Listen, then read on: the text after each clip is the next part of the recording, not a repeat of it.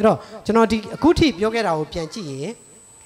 မိဘတွေရဲ့ကလေးအုံနောက်ဖွံ့ဖြိုးမှုနဲ့ပတ်သက်တဲ့အခန်းကဏ္ဍမှာနံပါတ်1ဗီဇဆိုတဲ့အပိုင်းကတော့ပြောရတာတော်တော်ခက်ပါတယ်နော်မောင်နှမချင်းမယူရလို့ဥပဒေထုတ်လို့လည်းမရပါဘူးဆိုတော့အဲ့ဒီဘန်းကတော့ထားလိုက်တော့နံပါတ်2ဖြစ်တဲ့အာဟာရပိုင်းကြတော့ဒါဟာလွယ်လွယ်ကူကူလေးနဲ့ကာကွယ်နိုင်သောဂရုစိုက်နိုင်သောအပိုင်းတွေဖြစ်ပါတယ်တတိယပိုင်းကတော့ပဝင်းကျင်ရိုက်ခတ်မှုတွေပါ ပဝင်းကျင်ထဲမှာယောဂပိုးတွေပါပါတယ်ယောဂပိုးတွေဟာကိုယ်ဝန်ဆောင်တဲ့အချိန်မှာမိခင်ကနေပြီးတော့ဒီ placenta လို့ခေါ်တဲ့အချင်းကနေတဆင့်ကလေးစီကိုရောက်တတ်ပါတယ်နော်အဲ့ထဲမှာရောက်တတ်တဲ့ပိုးတွေအများကြီးရှိပါတယ်ဒါပေမဲ့ကျွန်တော်တို့ဗမာပြည်မှာအခုချိန်ထိတွေ့နေသေးတာက rubella လို့ခေါ်တဲ့တစ်ချိန်တော့ကတော့ German wet သက်လို့လည်းခေါ်တယ်တချို့လဲဂျိုက်တိုးလို့ခေါ်တဲ့ယောဂပါယောဂဖြစ်ရင် အနီစက်တွေတိတိတိလေးတွေအများကြီးထွက်ပြီးတော့အကျိတ်တွေဟာနောက်စီတို့နေရွက်နောက်တို့မှာထွက်ပါတယ်ဒါဟာကလေးတွေမှာ rubella ဖြစ်ဘာမှမဖြစ်ပါဘူးဒါပေမဲ့ကိုယ်ဝန်ဆောင်မိခင်မှာအထူးသဖြင့်ပထမ3လလောက်မှာ rubella ဖြစ်ရင်တော့သရေသားစီကိုအများကြီးရောက်ရှိသွားပြီးတော့သရေသားကိုထိခိုက်နိုင်တဲ့အနေအထားမျိုးတွေပါဆိုတော့ဥပမာတစ်ခုကျွန်တော်ကြိုပြောမယ်ဆိုရင် rubella ကြောင့်အမေကိုရောက်သွားပြီးတော့ ကလေးရဲ့အုံနောက်ဖွံ့ဖြိုးမှုကိုထိခိုက်မယ်ဆိုရင်ကလေးအုံနောက်ဟာပုံမှန်လိုမကြီးပဲနဲ့ microcephaly လို့ခေါ်တဲ့အုံနောက်သေးသေးခေါင်းသေးသေးလေးတွေမွေးလာတတ်ပါတယ်မျက်လုံးမှာ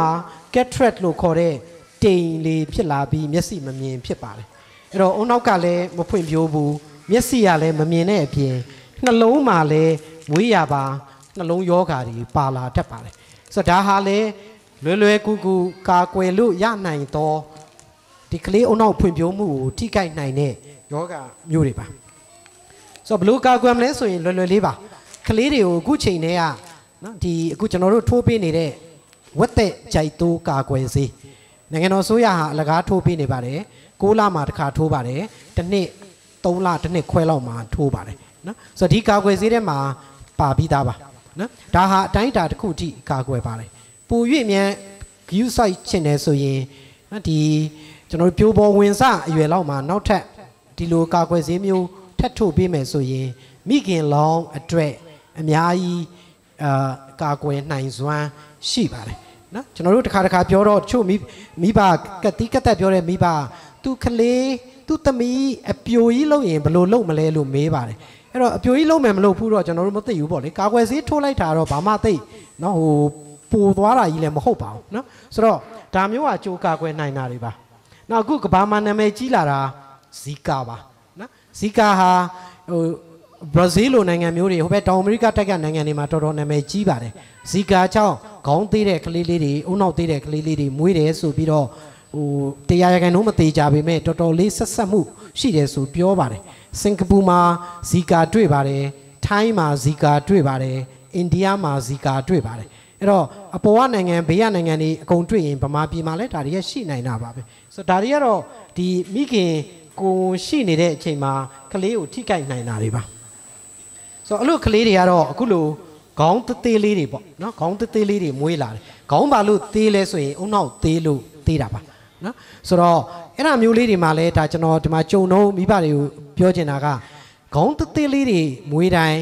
ခေါင်းကိုခွဲပြီးကုလို့မရပါဘူးနော်တချို့ ရှာရှာပါပါယောဂါတွေတော့ရှိတယ်ခေါင်းသေးတာဒီအုံနောက်သေးလို့မဟုတ်ဘဲနဲ့ဥကွန်ရိုးတွေအစောကြီးစီသွားလို့ဖြစ်တာဆိုတော့အဲ့လိုဥကွန်ရိုးအစောကြီးစီသွားရင်တော့အဲ့ဒီဥကွန်ရိုးကိုဟပေးလိုက်ရင်အထက်ကအုံနောက်ကကောင်းတယ်အဲ့လိုအုံနောက်ကောင်းတယ်ဆိုရင်ဥကွန်ရိုးအစောကြီးစီသွားရင်ဥကွန်ရိုးဟပေးလိုက်ရင်အုံနောက်ကလိုက်ကြီးလာတယ်ဒါအင်မတန်ရှားပါတဲ့ယောဂမျိုးတွေပေါ့အဲ့ဒါမှတော့ခွဲလို့ရတယ်တကယ်လို့စရရအုံနောက်သေးနေရင် ဥကုံရိုးသွားဟာလဲဘာမှမထူဘူးနော်ဟိုရည်စရာပြောရင်အဲ့တော့မှအုံနောက်ခြောင်သွားမှာဥကုံရိုးဟာတော့ဥကုံဥကုံကြီးကကျဲသွားပြီးတော့အုံနောက်ကဘာမှနော်အဲ့တော့ဆိုလိုတဲ့သဘောကဒါတွေဟာကြိုတင်ကာကွယ်တာအကောင်းဆုံးဖြစ်ပါတယ်အဲ့တော့ဒီပတ်ဝန်းကျင်ရိုက်ခတ်မှုတွေကိုခြုံပြောမယ်ဆိုရင်တခြားပိုးမွားတွေမကပါဘူးဈေးဝါးတွေ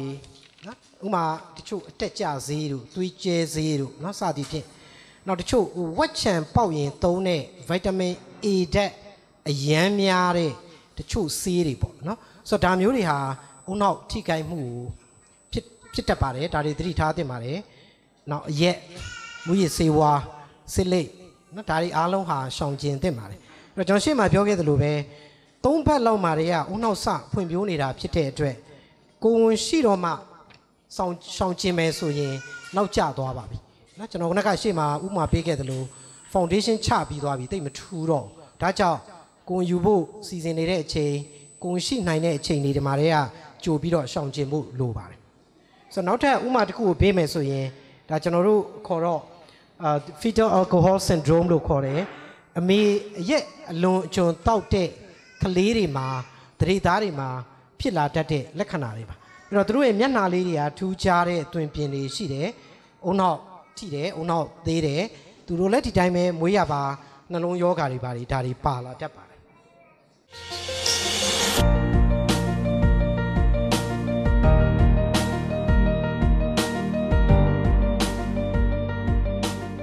CFM, caring for well-being.